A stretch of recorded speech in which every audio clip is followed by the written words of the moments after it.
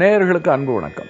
அனுஷத்தின் அனுகிரகம் நிகழ்ச்சியிலே கடந்த நான்கு நாட்களாக தாமிரபரணி புஷ்கரத்தை மையமாக வைத்து பெரியவர் சொன்ன பல அரிய கருத்துக்களை எல்லாம் தினந்தோறும் நாம் சிந்தித்தோம்.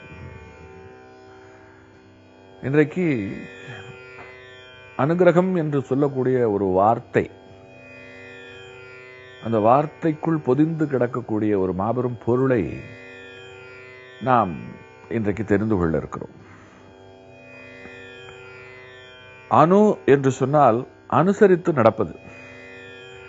அதாவது தொடர்ந்து செல்வது அப்படின்னு பேரு. அணு அப்படின்னு சொன்னா சமஸ்கிருதத்துல. கிரகம் அப்படின்னு சொன்னா பிடித்து கொள்ளுவது வீட்டுக்கு கிரகம்னு ஏன் பெயர்னு சொன்னா அது நம்மை பிடித்து வைத்துக் கொண்டிருக்கிறது. அல்லது நாம் அதை பிடித்துக் கொண்டிருக்கிறோம். அதே போல விண்ணில் இருக்கக்கூடிய கிரகங்களும் தங்களுடைய கதிரால நம்மை பிடித்துக் கொண்டிருக்கிறது. அதனால கிரகம் அப்படின்னு சொன்னா பிடித்து கொண்டிருப்பது. அப்படின்னு அர்த்தம். அனுகிரகம் அப்படின்னு சொன்னா நாம் தொடர்ந்து ஈஸ்வரனை பிடிக்க முயற்சி பண்ண அவனும் நம்மை பிடித்து கொள்ளுவது என்பது அதாவது நாமளும் முயற்சி பண்றோம் அதே செயலை அவனும் செய்கிறான். ஆக இரண்டு பேரும் ஒருவரை ஒருவர் பற்றி கொள்ளுவது. நம்மோடு இறைவன் இருக்கிறான் இறைவனோடு நாம் இருக்கிறோம். இதற்கு அனுகிரகம் அப்படின்னு பேர். பெரியவர் இப்படி அந்த வார்த்தைக்கு ஒரு அற்புதமான பொருளை சொல்லுகிறார். ஆனால் அவனை பிடித்து கொள்ள விடாதபடி மனசு இருக்கிறதே அது நிறைய அலை பாயுமா ஏன்னா இது மாயை சூழ்ந்த உலகு. நாம் அவனை பிடித்து கொண்டாயிற்று அவன் நம்மை பிடித்து கொண்டாயிற்று என்று சொன்னால் நமக்கு நல்லது மட்டுமே நடக்கும். நம்மளை யாராலையும் எதுவும் செய்ய முடியாது. நாம் வெல்லப்பட முடியாதவர்களாகி விடுவோம். கிட்டத்தட்ட நாமளும் கடவுளாயிடுவோம். கடவுளாவது அப்படிங்கிறது வந்து அவ்வளவு சுலபமாக அதனால மாயை இருக்கிறதே அது நிறைய இடையூறுகளை செய்யுமா? அது நமக்கு தூக்கத்தை வரவழைக்கும் சந்தேகத்தை வரவழைக்கும் கோபத்தை வரவழைக்கும் பலவிதமான கேள்விகளை எழுப்போம். இப்படி ஆனால் அதையெல்லாம் கடந்து நமக்கு அனுகிரகம் வேண்டும் என்று சொன்னால் இறைவனுடைய கருணை வேண்டும் என்று சொன்னால் நாம் இறைவனுடைய மூச்சு காற்றாகிய வேதங்களை இருக்க பற்றி கொள்ள வேண்டும். ஒன்று நாம வேதம் சொல்லணும். இல்லைன்னா வேதம் சொல்லுகின்றவர்கள் இருக்கிறார்கள் அல்லவா? அவர்களுக்கு நம்மால் ஆனதை செய்யணும். ஒரு வேத வித்யாபகருக்கு நாம் ஏதாவது ஒரு உதவி செய்தால் அது வேதத்திற்கு செய்வது. ஏன்னா அவர் நன்றாக இருந்தால் அவருக்குள் இருக்கக்கூடிய வேதமும் நன்றாக இருக்கும். அதனால வேத வித்துக்களுக்கு உதவி செய்வது வேதம் வாழ துணை செய்வது வேத கோஷம் புரிவதற்காக சதஸ் நடத்துவது ஏற்பாடு செய்வது இதெல்லாம் அனுகிரகம் நமக்கு கிடைப்பதற்கான குறுக்கு வழி. அதனால தான் பல இடங்கள்ல வேத பாராயணம் நடக்கிறது.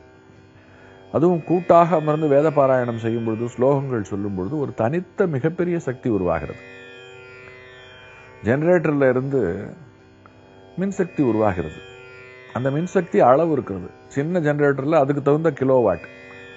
பெரிய ஜெனரேட்டரில் அதுக்கு தகுந்த கிலோவாட் சக்தி அதிகரிக்க அதிகரிக்க எப்படி அதை கொண்டு சின்ன ஜெனரேட்டர் ஒரு வீட்டுக்கு மட்டும்தான் மின்சாரத்தை கொடுக்கும்.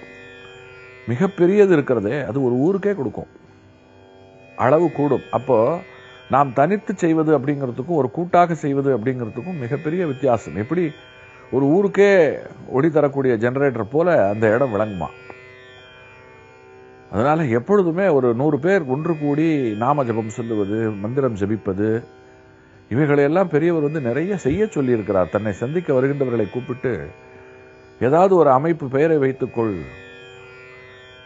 ராமநாம சபை ராம பக்த சபை என்று ஏதாவது ஒரு பெயரை வைத்துக்கொண்டு எல்லோரும் ஒன்றாக சேர்ந்து செவ்வாய் வெள்ளி போன்ற நாட்களிலே ஞாயிற்றுக்கிழமை பகல் பொழுதிலே நல்ல நட்சத்திரம் நாள் வருகின்ற காலங்களிலே திருவிழா சமயங்களிலே ஒன்று கூடி எல்லோரும் வேத பாராயணம் சொல்லுங்கள் ருத்ரம் சொல்லுங்கள் விஷ்ணு சகசிரநாமம் சொல்லுங்கள் லலிதா சகசிரநாமம் சொல்லுங்கள் என்று அவர் வந்து நெறிப்படுத்துகிறார் வழிப்படுத்துகிறார். காரணம் என்ன அப்படின்னா அளப்பரிய சக்தி கிடைக்கும்.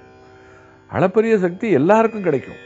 நீங்க ஒரு முறை அதை போல கலந்து கொண்டு விட்டு வந்தால்தான் அது நமக்குள்ள ஏற்படுத்துகிற தாக்கம் எப்படிப்பட்டது அப்படிங்கிறத உணர முடியும். ஆசையா போய் கலந்துக்கணும். பரிசோதிக்கிற ஒரு எண்ணத்தோட போய் கலந்து கொள்ளக்கூடாது விதையை பூமிக்குள்ள போட்டுட்டு மண்ணை போட்டு மூடிட்டு மறுநாளே போய் ஏன் இன்னும் மரம் வரல அப்படின்ற மாதிரி நம்ம அணுகுமுறை இருக்கக்கூடாது. இது ஒரு அற்புதம் அப்படின்னு உணர்ந்து தெரிந்து லயித்து நாம் போய் ரொம்ப ஆசையாக பக்தி செய்து செய்யும் பொழுது இதெல்லாம் தானாக நம்ம கேட்கவே வேண்டாம். தானாகவே இந்த விஷயம் நடக்கிறது. அந்த வகையில் நல்ல வேதம் சொல்லக்கூடிய ஒருவர். அவர் பேர் வந்து ராமகிருஷ்ண சாஸ்திரிகள். அவர் வந்து ஒரு முறை அஹ், நித்திய அக்னிஹோத்திரிகள். அதாவது தினந்தோறும் வீட்டில் வந்து நித்திய அக்னிஹோத்திரம் செய்யறதுன்னு ஒரு பழக்கம் இருக்கு. காலையில் சூரியன் உதிக்கின்ற சமயத்தில் இரண்டு எருமுட்டைகள் பசுமாட்டு சாணத்திலே செய்யப்பட்ட இரண்டு எருமுட்டைகள் அரச மரத்து குச்சி சமைத்து இது அரச மரத்து குச்சியாக தான் இருக்கணும். அதன் மேலே நான்கு அரச மரத்து குச்சி ஒரு கரண்டி பசு எண்ணெய் பசு நெய். அந்த நெய்யை விட்டு பச்சை கற்பூரம் இருக்கிறது அதை வைத்து தீயை பற்ற வைக்கும் பொழுது அந்த பசு நெய் கற்பூரம் இவை சேர்ந்து எரிந்து அரசம் குச்சியும் எரிந்து அந்த எருவா முட்டையும் சேர்ந்து எரிந்து ஒரு புகை உருவாகும். இந்த புகை மந்திர புகை. இந்த புகையை போல ஒரு மருத்துவ புகையும் உலகத்திலேயே கிடையாது. இது அப்படியே மெல்ல வீடு முழுக்க பரவும். இந்த புகைக்கு எல்லா கிருமிகளையும் கொல்லுகின்ற ஆற்றல். இந்த புகைக்கு எல்லா விதமான துஷ்ட சக்திகளையும் விரட்டுகின்ற ஆற்றல். இந்த புகைக்கு மகாலட்சுமியை வீட்டுக்குள்ளே அழைக்கின்ற ஆற்றல் என்று நிறைய இருக்கிறது. இதை தினந்தோறும் ஒரு வேத விற்பனர் செய்ய வேண்டும் என்று சாஸ்திரம் சொல்லுகிறது. இதற்கு அக்னி ஹோத்திரம் என்று பெயர். ராமகிருஷ்ண சாஸ்திரிகள் அப்படி தினந்தோறும் செய்கின்ற ஒருவர். இன்றைக்கும் கோயம்புத்தூர் பகுதியில் பலர் செய்கிறார்கள். அப்படி செய்வதன் மூலமாகத்தான் பல நன்மைகள். போபால் விஷவாயு விபத்து நேரிட்ட சந்தர்ப்பத்திலே ஊர் முழுக்க விஷவாயு பரவி விட்டது ஆனால் ஒரு வீட்டுக்குள்ள அதனால நுழைய முடியல. என்ன காரணம்னா அந்த வீடு ஒரு அக்னிஹோத்திரியினுடைய வீடு தினந்தோறும் அவர் இதை செய்து கொண்டிருந்தார். அந்த வீட்டில் இருக்கின்றவர்கள் மட்டும் தப்பித்து உயிர் பிழைத்தார்கள். இதை பின்னர் கண்டறிந்த விஞ்ஞானிகள் வெகுவாக ஆச்சரியப்பட்டு அக்னிஹோத்திரத்திற்கு இப்படி ஒரு சக்தியா அப்படின்னு கேட்டார்கள்.